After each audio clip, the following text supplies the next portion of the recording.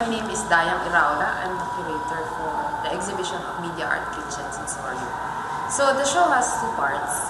One is, or two sections. One is uh, on uh, art and technology, focusing on that. And one is uh, creating narrative through art and technology. So one is focused on the how to, the techie part, and the other one is uh, focused on the how how to use, uh, how it is being used to perceive the senses. Took a lot of time Skyping because there are three of us and there are so many artists.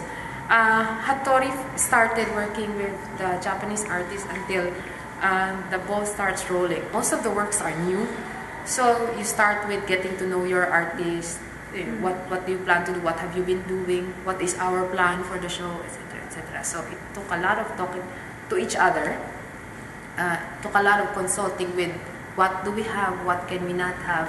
And I think most importantly, uh, we had to, to feel the audience. We had to feel Manila if it is, if this is what we want and this is what we're going to have.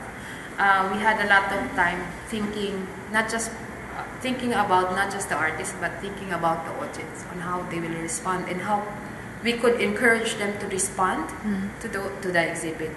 Um, perhaps uh, at the end of at the end of all this, at the end of all the preparation, which is the launching now, uh, we I feel that we have to be ready to uh, receive more questions and more more questions and more challenge because this is just sampling as they call it in South Art.